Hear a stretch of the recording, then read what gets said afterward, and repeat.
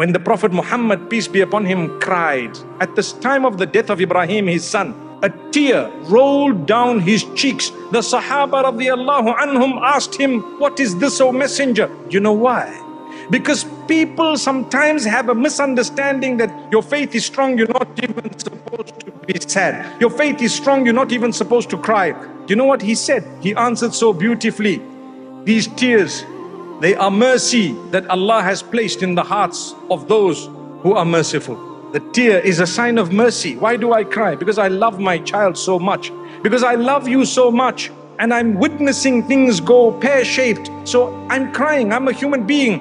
Crying is good, by the way. Sometimes it will help you. It's a mechanism that Allah has created man by. You cry. It's natural. It's normal. You have tear glands perfectly made by the owner of the universe. From time to time, empty them. Allahu Akbar. May Allah grant us ease. It's normal.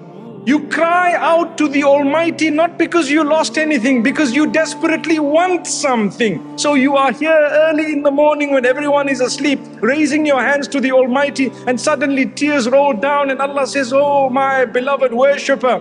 You're not crying because of a loss. You're not crying because I took something away from you. You're not crying because I've punished you. You're crying because you desperately want something from me. So what does Allah do? Allah will only give it to you if He knows it's better for you and when He knows or when He knows this is better for you at that particular time. If it is better for you, you get it. If not, you won't get it.